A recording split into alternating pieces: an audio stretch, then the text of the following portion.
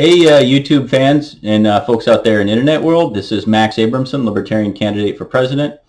Since we don't have any uh, filing periods or debates or anything going on uh, this week, I instead of talking about the presidential campaign, I thought I'd talk about what everyone seems to be talking about on my social media feeds on Twitter and Facebook and everywhere else, which is the new trailer for the new Star Wars movie coming out on Christmas, which is uh, Star Wars Episode 9, the much waited for uh, end of the saga film. Um, the actual trailer, the new trailer is just about two and a half minutes long. Uh, unfortunately, they make you wait about uh, through half of that before they start showing anything, and then all they show is about uh, was it 30 or 40 seconds of actual new footage, and all of that, of course, is just them standing around in front of a desert, and they show some of the old characters, uh, Lando and Leia. They show a whole bunch of uh, Imperial ships showing up um, and of course, all the old famous characters and laser blasting into the planet. And uh, of course, it all finishes with uh, Lay, um, Rey, I should say, and Kylo Ren in a great big uh, sword fight at the end. And I'm I'm not saying that that I'm going to prejudge and say that this is going to be a bad movie, but I'm going to say that uh, George Lucas should never have sold the Star Wars franchise to Disney. Disney's uh, one of these, you know, modern globalist, politically correct corporations. And if you uh, saw Han Solo, this new Solo movie in the theaters as I did, and you paid good money for it, probably disappointed about making Lando Calrissian a pansexual and all this other weird politically correct nonsense. Really, uh, if you saw the very first Star Wars movie, there's a lot of kind of libertarian themes in it, especially, of course, Han Solo and now with the new one, it's all about political correctness and all the cultural Marxism and and the new, you know, new politically correct thought police, and you can't say anything to offend anyone. And and uh, honestly, I thought the Solo movie was okay. I thought it was a bright spot in a series of bad movies. But when I walked out of Episode Seven, walked out of the theater, um, I actually said out loud, looking around for my friends, I, I said, Am I the only one who thought that that was a bad movie? And the very first word I heard was no. And uh, actually, quite a lot of people thought it was a bad movie. I've got a tradition going all the way back to being a child. Every single Star Wars movie that comes out, I see it twice in the theater, make sure that I didn't miss anything. And I did that kind of out of habit for Episode Seven. And Episode Seven, as much as you know, you know, friends know that I'm not a big fan of the prequels. The prequels had a story arc. George Lucas made them they were very expensive. They were very glitzy, a lot of special effects, uh, pretty weak on story. Um, some of the dialogue was kind of campy. Um, of course, every time someone gets blown up on behalf of Padme, they say, I failed you, my highness.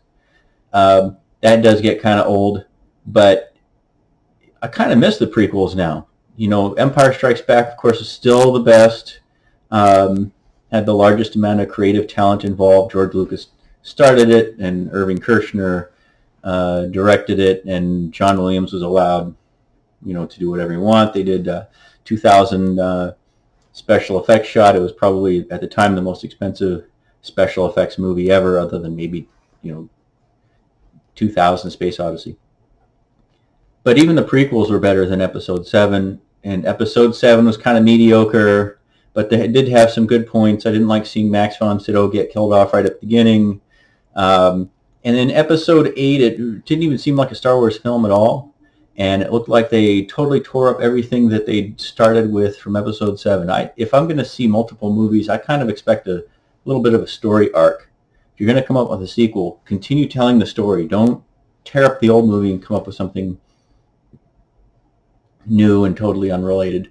And then uh, episode 8 was just not a good film, and it didn't say anything about Star Wars at all. It was they they could have just recast different people, given them different names, and made it a different movie, and it would have been fine.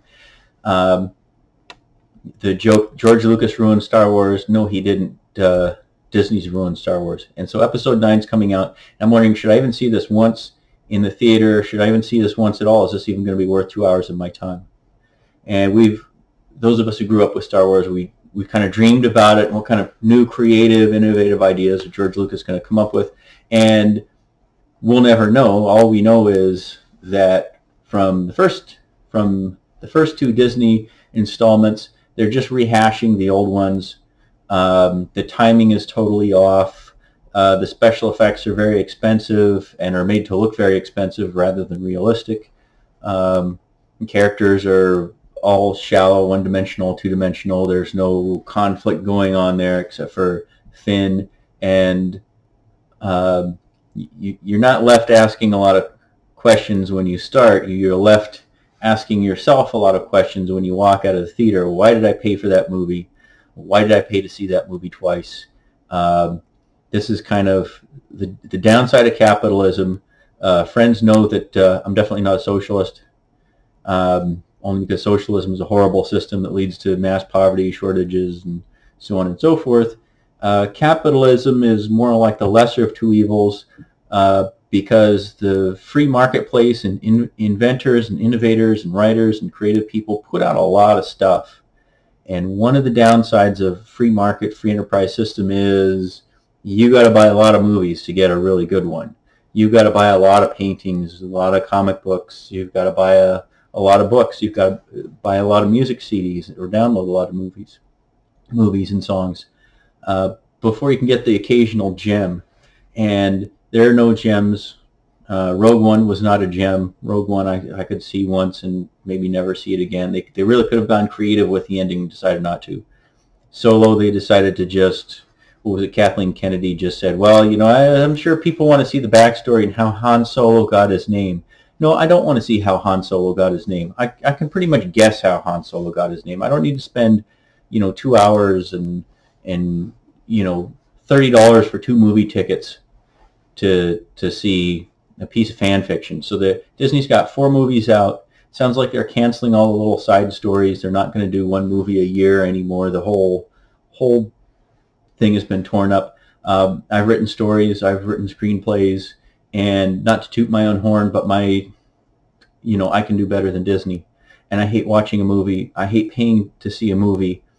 You know, after I've seen Star Trek 2, probably 10 times. I've seen Star Trek 4 probably 10 times.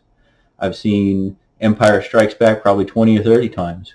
And each time I see these great movies, I see some of the little details in, in RoboCop or Predator or Total Recall where the, the people who made the movie really cared about it, or Miracle on 34th Street, or Braveheart. Even though Braveheart's a very simple movie about, you know, some of the Scottish fighting for freedom against uh, English tyranny, it's clearly just a you know a battle royale, but there's conflict in there. Um, do you give up your shot? You know the the the up and coming king of Scotland. Do, do you give up your chance to be a king under another king, or do you risk it all and fight to have a country of your own? There were real serious questions asked, and I dare say even Star Trek Five. Uh, William Shatner's disastrous de- directorial debut even William Shatner in Star Trek V, widely panned as one of the worst movies of all time, at least they asked the really hard questions. At least uh, he tried a lot. He bit off more than he could chew. Uh, and the the direct the, the the writer's strike and the workers' strike and the Paramount cutting his special effects budget from four million dollars to two million dollars was was terrible right in the middle of the film. And on top of that, Paramount stepping in and saying, well, you, you can't have a real God at the end, so you've got to change this to change him to an alien. Sorry if you missed Star Trek Five. Don't even don't even bother. There's no spoiler alert because it, there's nothing to spoil. It's just it, it, it, an okay movie with a terrible ending. Just as soon as God appears with a beam of light, just go ahead and, and just hit the stop button and don't even watch the last 15 minutes of that movie. That's 15 minutes of your life wasted. You're welcome. I saved you 15 minutes. Uh, but the, the new Star Wars films are just crap. All four of them so far. And so for Star Wars Episode 9, they just put up another two and a half minute preview. They're calling it a trailer, trailer number two. The first one came out four months ago, and this one even more than before cemented it. I'm definitely not going to see it twice in the theater. I might see it matinee, but I might not see it at all. So See you guys back on the campaign campaign trail. This is Max Abramson, Libertarian candidate for president. Just giving my two cents, my opinion on that whole uh, debacle. And don't forget to click like and subscribe and leave your comments down below.